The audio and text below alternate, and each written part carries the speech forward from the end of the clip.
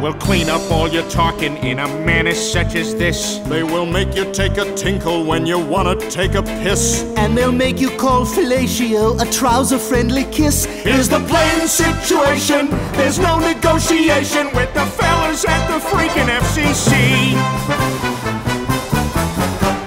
As stuffy as the stuffiest of special interest groups. Make a joke about your bowels and they order in the troops. Any baby with a brain could tell them everybody poops. Take a tip, take a lesson. You'll never win by messing with the fellas at the freaking FCC. And if you find yourself with some young sexy thing, you're gonna have to do her with your ding-a-ling.